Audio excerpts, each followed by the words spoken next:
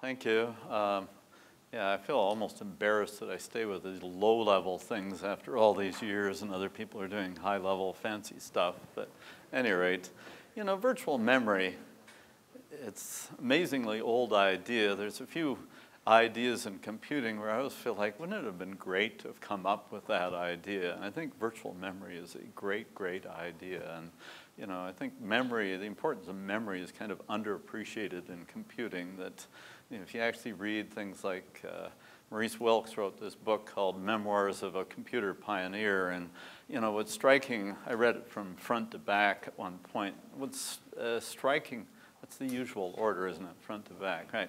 Uh, but what's striking about it is that we bumble along in each decade, and memory kicks us forward. You know, I mean, any idiot can come up with all sorts of fancy programs to do stuff, but if nothing will run it, then you can't do it. And so I think it's an incredibly enabling thing. So I've been interested in this area. Um, so obviously we know all these trends. You know, it's amazing what hardware has accomplished. Uh, you know, more cores, DRAM's gotten larger, um, dramatically larger. I mean, it's funny, I find it hard to thinking back to the time I was at Waterloo, you know, that I find it hard to even say these words like, well, we had this system with 16 kilobytes of memory on it. Like, you know, is that really possible? You could actually do something in 16 kilobytes. So it's unbelievable how much things have gotten larger, but one thing to pay attention to is DRAM's focus on capacity as commodity market and doesn't seem much prospect of it going faster. Um, and then, of course, application data sets have grown huge, and uh, um, you know, the compute requirements have increased and so on. And as you get into this world, people are interested in fault tolerance. That is, things get bigger, larger, more complicated, and things fail, and it takes longer for things to recover if you have to just restart everything from zero. So fault tolerance is important. And I don't know whether it's now 50 or 60 years old, but you know, it's old, old, old. And you know, I think we've, we've uh, you know, again gone through phase where things have changed by amazing orders of magnitude. And um, the, uh, you know, across a number of different dimensions. Uh, I remember several years ago saying to somebody at Google that, you know, we needed to think about terabyte memories, and he said, well, we already are. so, uh, uh, you know, and it's easy to say these terms, but it's, you know, it really changes uh, a bunch of the properties. One of the other things that I think has been interesting is paging storage has lagged tremendously, and uh, I think this 3D crosspoint technology out of Intel, um, I'm not going to market it even though I have this Intel affiliation, but it's pretty interesting how much that has changed what's possible with paging storage. Of course, network performance has gone up, core counts increased, and no engineering design survives this level of change. And I think we've not paid enough attention to this wonderful idea of virtual memory that's old but needs some rethinking here.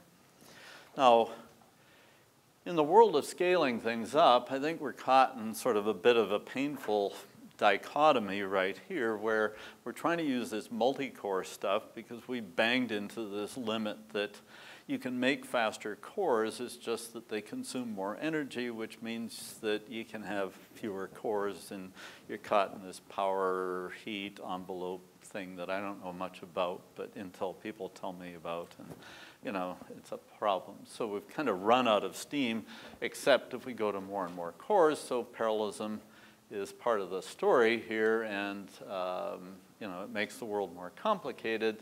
Uh, and so when you go parallelism on applications, you need shared state, and you need this fault tolerance as things get larger. So um, what's the dichotomy I see is that you have database parallelism. Databases are wonderful uh, because you can have all these separate processes that are doing application stuff.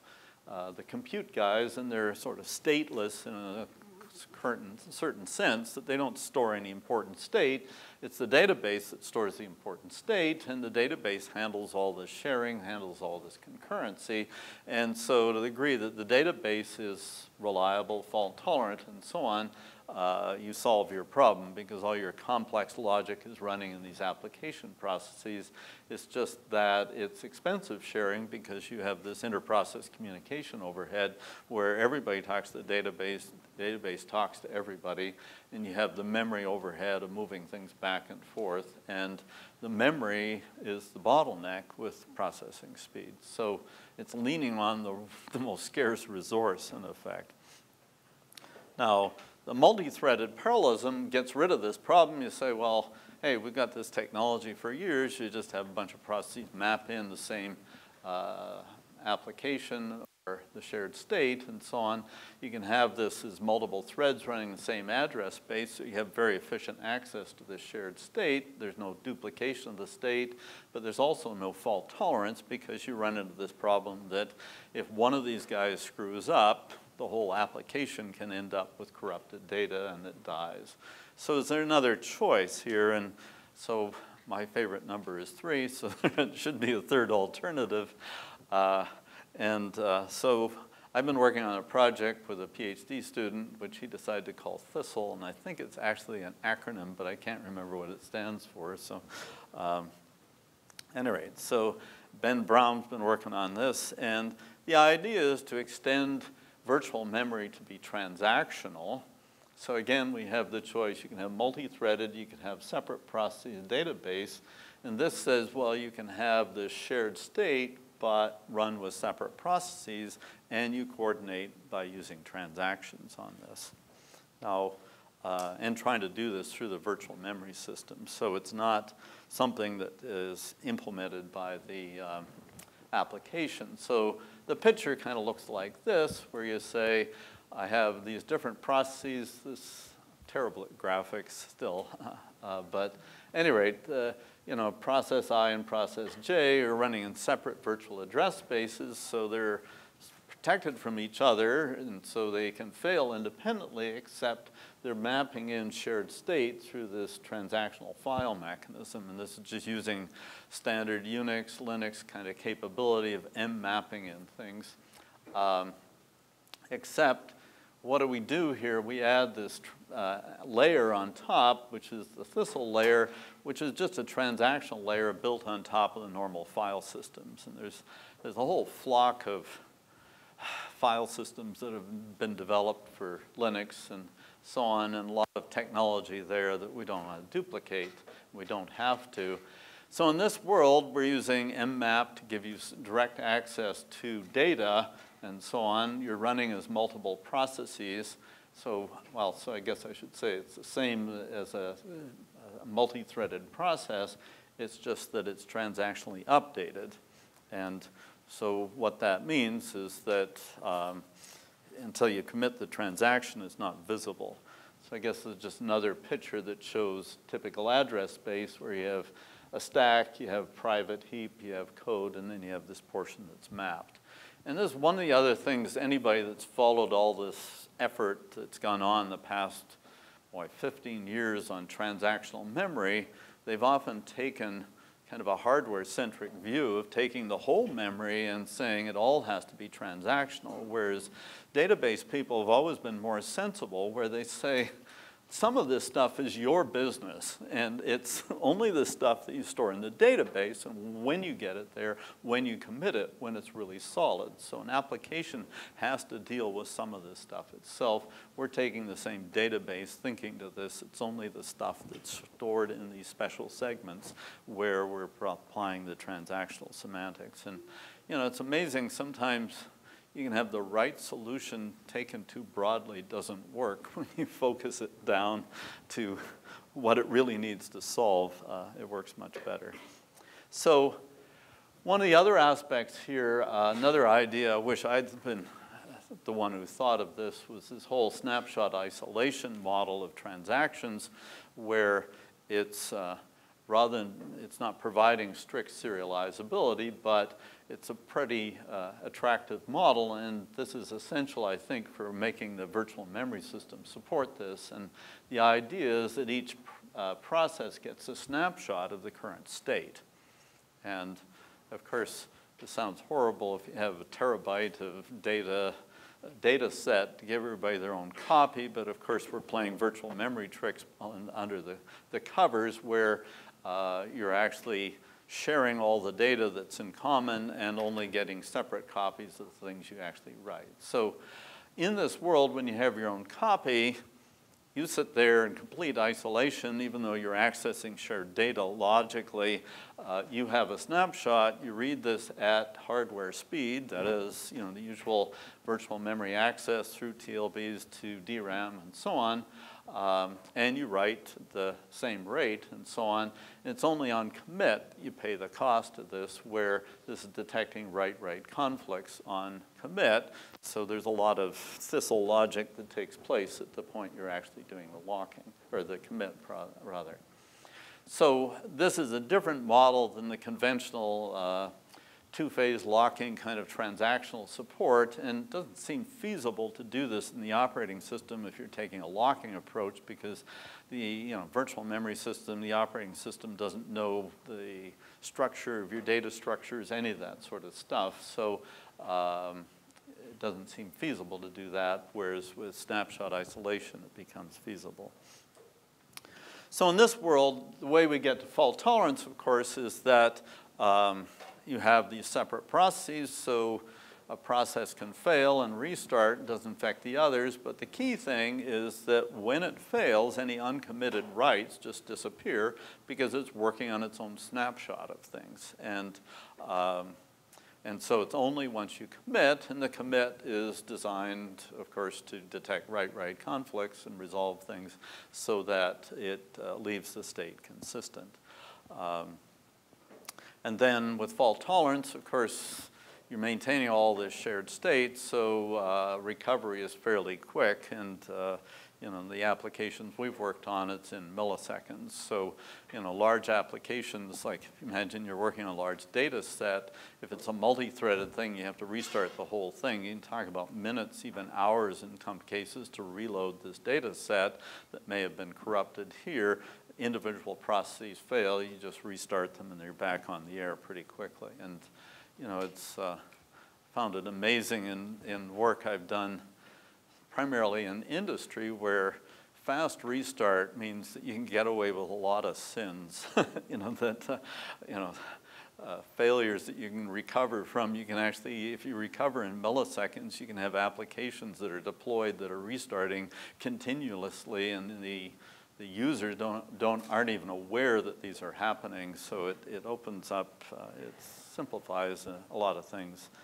So um, in terms of further fault tolerance, the log can be piped off to a separate host, so you can recover if a whole host fails, you're uh, piping off the log. So this is the basic idea, say, why don't we make virtual memory transactional in this sense? Um, well, you might say, well, because what's the performance look like?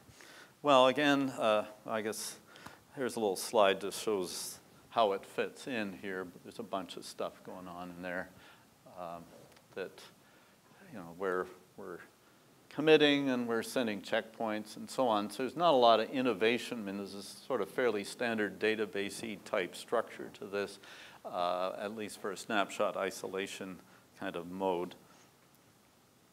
So performance evaluation, excuses, excuses, is still a work in progress. And I think we could say, I mean, reads are really cheap in this world because you're going directly to memory and no interference here. Um, and we're certainly seeing some slowdowns for write-intensive applications and, you know, the usual optimistic concurrency approaches. If there's a lot of conflicts, uh, there's a lot of aborts and so on. So uh, but that's, I mean, with lock-based approaches of a lot of conflicts, then you run into a lot of slowdown as well. So, um, so I think we've tried to look at this uh, as a comparison to some of the other approaches, like there's software transactional memory. Uh, I think some of the comparisons we've done is to look at uh, things that are not quite fair comparisons, but let me go on to these. So looking at, I always like to, everybody likes to present the good results first, of course. So this uh, thistle is the purple line with the crosses on it. Of across kind of get lost in this picture here. There's custom locking, which is, you know, writing the data structure where you say, well, I read this book where Don Knuth figured out you can put the lock here and there and so on. And uh, multi-version is the software implementation that is doing it right in the application and doing multi-version uh, updates and so on. Uh, then uh, this is two-phase locking. Uh, software or, or, snapshot isolation, and this is a, sort of a simple version of software transactional memory in the conventional sense, and two-phase locking. So, so on, on, uh, on the read-intensive workloads, we do really well because our reads are fast, they're not instrumented, there's no locking to do with reads, and so on, all that goes away. What we're still working on is that as you introduce writes into this picture, things get a little worse. And you notice that thistle here with the purple with the, the crosses on it is, this is measure uh, looking at speed up here, so higher is better, and it's not always the highest thing on the, on the picture. And so uh, you know, one way to interpret this is to say, well, Jesus, it's not working very well, or it's not competitive when the, uh, there's higher write rates and so on. Um, I guess, you know, I'd make the standard excuse that we're still working on improving that. But the other standpoint is that, you know, this is comparison with things that don't provide the fault tolerance. So I think to some degree you start seeing the cost of fault tolerance here. And it makes you can imagine looking at this from the standpoint that says, well, if you take the extreme, you say, I'm running these applications, don't modify this data set at all. There's no consistency problem. There's no read for any of this sort of stuff. So fault tolerance is trivial in that case. It's just that most applications need to modify things because what are they doing otherwise? Uh, even if they're transferring to some other common uh, you know, data set, reading one big thing, modifying another, there's still shared data and it's still being modified. So I think that what we're seeing here is potentially sort of a sense that you know, fault tolerance doesn't come for free and, and started quantifying this effect. So um, one of the other things that fascinated me is, again, got this funny position at Intel, so I'm sort of up close and personal with some of the problems. And, and you know, you look at the hardware level coherency, and you know, hardware people use the word coherency, and thank God they use that instead of consistency, because what does it mean? Well, hardware uh, coherency is word level consistency. It says, well, we'll impose a total ordering on writes. So if you write to this location, I write on two different cores, we're going to order those writes.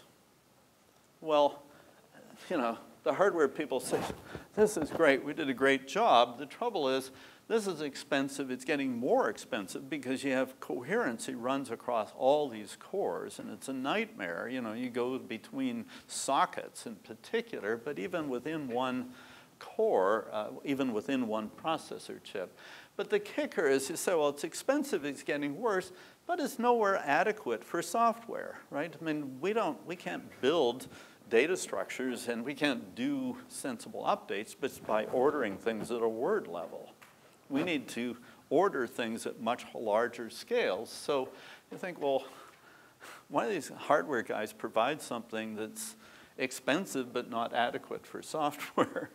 well, if you look at the, uh, the alternative, once you say transactional memory, you say, well, I, we have to impose detect conflicts at this higher level, namely in the transactional level. So we need this in any case, and then we don't actually need the hardware coherency at all if we're running in this transactional mode. Now, uh, and this is kind of interesting because, you know, it's a classic case you see so often in computing where if you solve something at the higher level, it obviates the need for a lot of complication at the lower level. Now, there's a few kickers in this, like right now we have this crazy behavior where you know, you're, you're checking coherency across all these cores, and yet if this guy is running on one core with his own snapshot of things, there's no reason, like if I do a write, I don't have to worry about anybody else coherent with anybody else because the snapshot isolation, whereas the hardware is doing all this work.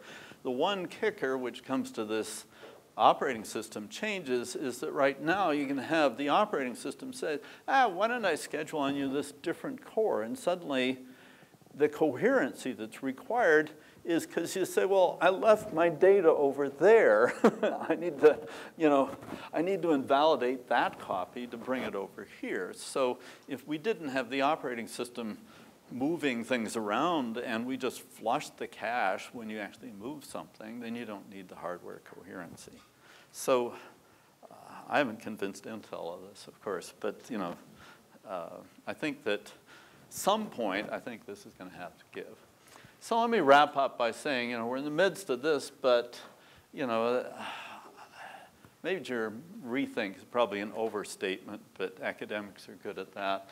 But, you know, this, this way of just adding in transactions and, you know, viewing, we have to, as far as I can see, go to a snapshot isolation model of transactions, significantly changes the way you can actually run this, and it's dealing with exactly this problem that the scale up has meant we can't afford failures, but we're going to have them unless we have fault tolerance and that we have this sharing going on. So putting these two together, I think, solves a significant problem for software, but also some degree, it solves a problem for hardware, I think, by saying you don't need this lower level mechanism which doesn't scale. So let me stop there and uh, invite any questions.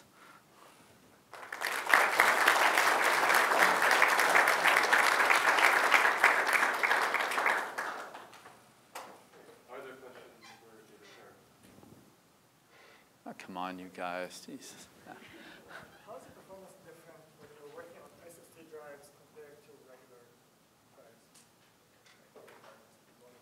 Well, you know, I think any database person would tell you that if you're doing things right, your, your performance tends to be limited by what you're logging to. And, uh, you know, so it's enormous in effect. I mean, and, and, you know, this where I think our thinking has been warped a little bit, like, uh, I can never remember the numbers, but, you know, you, like with the 3D crosspoint, you get down to the level that you're able to access smaller units, like 256 bytes, I think, in roughly a couple of microseconds.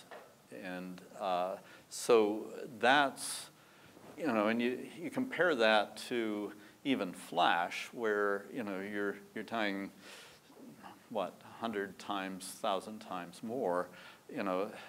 I mean, I often tell my students, you know, like, you can say a thousand times, but it, I have to translate this into saying, imagine you're on the skateboard and you go a thousand times faster, you know, on the skateboard. You're going five miles an hour, now you're going 5,000 miles an hour. I mean, these are completely different worlds. And so that's where I think part of the thing that's happened with virtual memory, I mean, people have been on this track where we have virtual memory. It used to provide both expanded capacity as well as, as isolation. And we've given up on the expanded capacity sort of view because paging devices are so slow. And that's where I think if Intel plays it right, the 3D crosspoint technology is sort of transformative if it's used well to, you know, basically be able to expand what you can do with virtual memory. But, you know, these are orders of magnitude changes that are taking place. It's exciting. I hope I'm not going to offend, maybe I do hope I'll offend somebody. I want to be blatant here. You know, I, I, I don't have personal likes and dislikes, but I look at these things as saying, are we barking up the wrong tree? And when you look at hardware transactional memory, it's a neat idea, but it says to the processor cache, hey, you can be useful to me, right? You save a copy, so we won't flush out of there until we're ready to commit. And that sounds good, until you come eyeball to eyeball the fact that a cache has limited associativity. And so you end up in this case where, and there's all sorts of reasons why, you know, a cache might, you know, there's all these cache conflicts that can occur. And so you, you then say to the cache, no, don't flush that out. And the cache says, I have to because somebody else needs to come in. And you know, the hardware is designed that way, so you're asking a cache to do something they can't do. And that's where you end up with this problem that you can't guarantee a transaction will commit. And this is a great experience years ago with a company where they were building a transactional thing. And I said, well, what's the, the largest number of memory references you can have in a transaction and guarantee that it will complete? And it took them, these architects took my question seriously for some reason. It took them weeks to figure this out. And it turned out the answer was two. And my theory is you have microtransactions like, you know, double compare and swap or something or other that can work with that. But then there's millions of transactions. It's kind of like, you know, if I look up, if I say, I'm going to look up something in a data structure, and if not there, I'm going to add it, you say, well, if the add is the transactional portion, that's a microtransaction of tens of instructions. If it's the lookup, it can end up being millions of instructions. So on my theory, there's nothing in between. The trouble is the hardware stuff only handles the small case. And then the, the hardware, yeah, you got me on a roll here, but the hardware guys always say, well, you, if it doesn't, you, know, you retry it a few times, if it doesn't work, you fail over to software. The trouble is that as far as I can understand, the only failover to software is you have a global lock. And at the point you fail over a global lock where you have 64 cores going full blast, somebody fails over the global lock and grabs it. Know, suddenly you're running a serial program and how you get out of this. So, I mean, I think we've, well, I think we just it's, it's got this fundamental problem that I don't see a solution to, and I can go on and on. I mean, factor in interrupts and TLB misses and on and on. It's just, you just can't make it scale. And this, so this works with terabytes of data. That, you know, two memory references, and otherwise you're kind of in dicey territory. Sorry, Dan. You know, I'll shut up. Now that we've reached the moment where David is excited enough to throw his mic. yeah, okay.